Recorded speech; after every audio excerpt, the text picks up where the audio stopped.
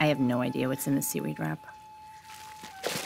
But with this USP seal, I know exactly what's in my Nature Made gummies.